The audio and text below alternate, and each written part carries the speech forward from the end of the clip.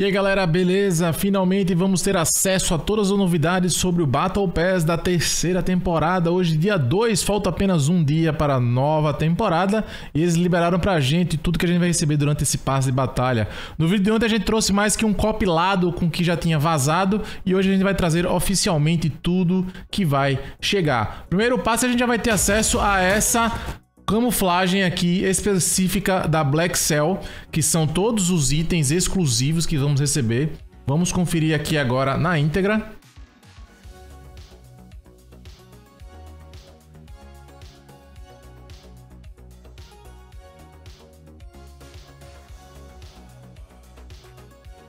50 reais, 29 dólares lá na gringa, você vai receber muitos itens, quase equivalente a 7 mil Code Points em itens. Desbloqueando o passe de batalha, a gente já recebe de cara 11 operadores. E de início já tem já o operador do Snoop Dogg, que é o cachorrão, e também a Black Cell, a operadora, que vamos ter disponível já assim de imediato.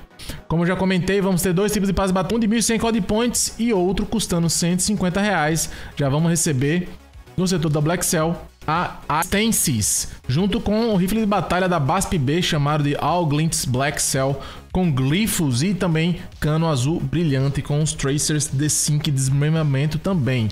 Vamos ter mais de 11 skins de operadores cercados de muita novidade. Dentro das skins do operador do Black Cell vai ter confirmado o Stensis, dois Makarovs, Snoop Dogg, Snoop Dawn, Swagger, Reaper, Doc, Riptide, Banshee, Corso, Byline e Rush. A passe batalha por 1100 Code Points já vai desbloquear automaticamente o Snoop Dogg número 2. Ele vai fazer parte da Spec Gru como recompensa instantânea. E se você comprar o pacote da Black Cell, você vai receber a versão Dog, um Doberman do nosso querido Snoop Dogg. Para os proprietários também da Black Cell, vamos ter duas versões do Makarov. A primeira vai ser a Dominus e a secundária vai ser essa com a máscara dourada, bem legal. Vladimir Makarov voltando aí à tona. As skins adicionais que a gente vai receber durante o passe de batalha vão ser os glifos da versão Black Cell e também as versões padrões da skin, por exemplo, essa aqui do Akuma para o operador Swagger no setor número 2. Já a skin da Corsair, vai ser uma skin de operador do setor número 5. Vamos ter duas versões Black Cell e padrão, você está vendo aqui agora, nesse exato momento. Skin Cardeais, que vai ser a skin para o operador Doctor, no setor de número 7. A gente já viu uma skin bem parecida com essa daqui, dourada, com esse capuz. Para as skins do Bisturi, corrente no setor de número 10. Pode ver que todos utilizam essa pegada dourada e outra versão padrão.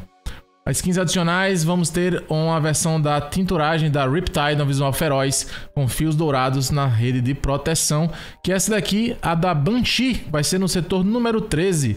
Todas as versões da Black Cell ela tem uma questão dourada na cabeça, num é um capacete, no outro é a máscara, no outro é no pescoço, óculos, todo esse efeito brilhante. Para a skin do Cash vai ser o operador Corso também, a versão padrão, e a versão Black Cell toda com a máscara douradona, assim como a gente via antigamente no primeiro operador que a gente teve da Black Cell, que foi o Atom. A skin do Sabotator, assinatura de fogo, número, número 18 no setor com a PKM no setor número 18. As armas funcionais vamos ter três novas no setor 4, 8 e 15. O rifle de precisão vai ser o Morse no setor 4, que vai ser através de forma gratuita. É um canhão elétrico de carga única que oferece uma carga muito útil de alto dano com excelente velocidade de penetração. Se esse rifle tiver que fazer recharge, ter que aguardar para recarregar, talvez ele não vai ser muito interessante, porque se você tem que esperar 2, 3 segundos para dar um tiro, vai ser bem esquisito. Mas ele tem uma alta cadência de tiro, uma grande velocidade de projeto e um canhão elétrico do Morse é ideal para atiradores de elite em diversas situações de combate. A outra arma que vai ser grátis também no setor de número 8 vai ser a Horus SMG, ultra compacta com os melhores danos e mobilidade da categoria, é a famosa MP9. Ela você reduzir a distância com ela, você vai ser extremamente letal. Já para a outra arma que vamos receber vai ser a Gladiator corpo a corpo no setor 15 de forma gratuita. É um canivete compacto, oculto e inicialmente usado por jogadores de alta habilidade. Ela tem um bom alcance, mas compensa pela alta mobilidade em produção de danos. Projetos de armas, na temporada 3 vamos ter 20 projetos de armas com a variedade de cartões visitas, calling cards, emblemas, adesivos, decalques, movimentos de finalização, pontos COD, sim, muitos COD points e muito vamos ter também muitas aquisições zumbis como Perk Colas, ferramentas Ether, Raw Crystal e Ethereum Crystals como novo estojo de arma também. Agora vamos passar pelos projetos de armas que a gente vai receber durante todo esse passe de batalha. Os projetos de armas dessa terceira temporada vai ter o tema madeira e amarelo. A primeira arma que a gente já está vendo vai ser uma ataque Eradicator. No setor 1, a gente já recebe de cara a Lockwood 300 chamada de Stilo Graze. Para o setor 5, vamos ter a Eradicator Lâmina Juramentada. No setor de número 10, vamos ter a Bladed Praise da DG58. No setor 11, vamos ter a Blade Eater da TAC Evolver LMG. No setor 20, vamos receber a Horus SMG com uma pegada Glened Slash. Com esses projetos vão ter designs amarelos intrínsecos para o corpo a corpo também, junto com a parte de madeira, como eu já mencionei. Vamos ter essa print aqui para a PKM, a famosa Puleimote, chamada de tatuagem de peixe koi. No setor 2, vamos ter o revólver TYR da manobra de koi. Setor 14, vamos ter a SMG chamada Live Line, da HRM9, e um rifle de precisão da CAT, chamada de Sealed Fate. No setor 17, vamos ter o rifle de precisão da Morse, que é a nova Sniper. No setor 18 vamos ter Não Seja um COI da Playmote, que é essa que eu acabei de falar para vocês. E também vamos ter outro tipo de camuflagem que vai ser a topografia camuflada em algumas armas. No setor número 3 vamos ter a incumbência da Soul Render, que é a espada. Rifle de batalha Subverto SO do impulso magnético. No setor 7, a espingarda fugitiva da Lockwood 680. Setor do número 9, vamos ter a inspiração planejada da SPR 208 Masker Rifle, ou seja, vamos receber um camuflagemzinha um blueprint para a arma do MW2. Vamos ter também uma skin para a BASP Battle Rifle. No setor 16, vamos ter a rifle de assalto BP 50 com ambulante. Vamos ter também a variação de preto, vermelho e branco para as armas da Corrin, que vamos ter desbloqueado já instantaneamente e vai ser o rifle de batalha BASP com essa preto e branco. No setor 12 vamos ter o rifle de assalto chamado Slick Dispatch da Roger 556, setor de número 13 o rifle de assalto SVA 545 e na conclusão vamos ter o rifle de batalha da MTZ 762 quando concluir o passe de batalha. As armas da Black Cell vão ter as blueprints adicionais nessa estética e pegada da Black Cell dourado com preto. Você vai encontrar sete projetos de armas no Battle Pass justamente exclusivo da Black Cell, incluindo projetos que vão apresentar uma variedade muito boa do mesmo nível da Black Cell, onde vai ser uma derivação direta das armas padrões. Vamos ter na primeira arma da Black Cell vai ser a Lockwood 300 no setor 1, em alteração com a Black Cell, chamada de variante de Sync. O Breaker, que vai ser o rifle de batalha da BASP no setor de número 9, alternado para Black Cell, como também vamos ter para nossa querida WSP9, a chamada Shaped Fated da Black Cell, apresentando a Sync Traces e The Sync Dead Effect para a Blade Tader da ataque Evolver LMG no setor 11, alternação alternativa da Black Cell, vai ser esta belezinha aqui, metade preto, metade fogo dourado. Para a Slate Fater do setor 14, a gente vai encontrar a versão direta da Black Cell para a Katia AMR, na versão D5. Perigo situacional, que vai ser a rifle de precisão da Morse, a nova Sniper Rifle no setor 17. Essa aqui é a versão direta referente a Black Cell, a versão chamada de SIRS. Para a Glenn Station, que é da nova SMG Horus no setor 20, a opção totalmente derivada da Black Cell, tá aqui na versão Tracers The Sync Dead Effect.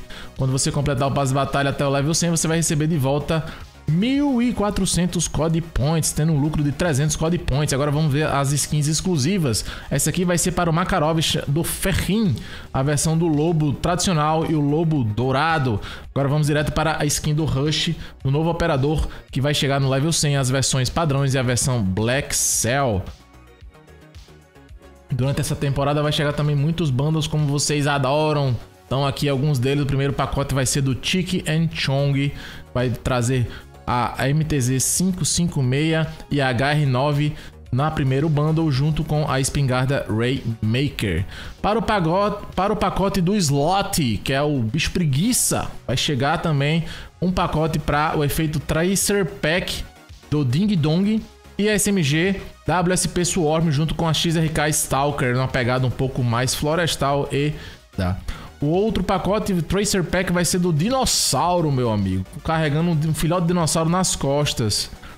Vai trazer um cartão de visita animado, calling cards, emblema e essas armas muito animal. Para o pacote Tracer Pack Brain Brain Ultra Skin, a cabeça parece até o Robocop isso aqui. Vai trazer é, kit de reposição da Jack Thunder LMG e uma Striker 9 Cranial Craver. Para o pacote Tracer Cavaleiros Virtus Ultra Skin. Uma skin muito louca aqui, que lembra até o Ghost. Vai custar 1.400 Code Points. Vai ser um dos cavaleiros do Apocalipse na versão Vírus. O outro pacote vai ser o da Fast Killer Seekers Freak. Meu amigo, esse palhaço aqui vai ser louco, hein? Quem comprar esse palhaço andando aqui pela, pelo Warzone vai dar medo ver esse bicho aqui. Nesse pacote ele vai trazer um rifle de atirador da Interceptor Jokes On You e também uma da HM9 Funny Business. Esse, palhado, esse palhaço vai trazer um decalque grande chamado de Murpers Muppet e um adesivo de arma do Secret Slayer e um amuleto chamado de Some Recried, também como muito Double XP. Para o pacote Tracer Pack Cyber Junk Pro vai vir uma MTZ e um rifle de batalha da KV Inhibitor. Bem legal. Isso aqui também é os bundles do Godzilla, que a gente não tinha conhecido ainda. Vamos receber vários bundles do Godzilla.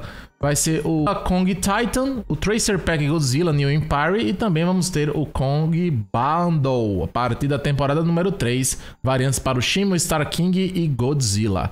Essa aqui é a primeira Godzilla Tracer Pack.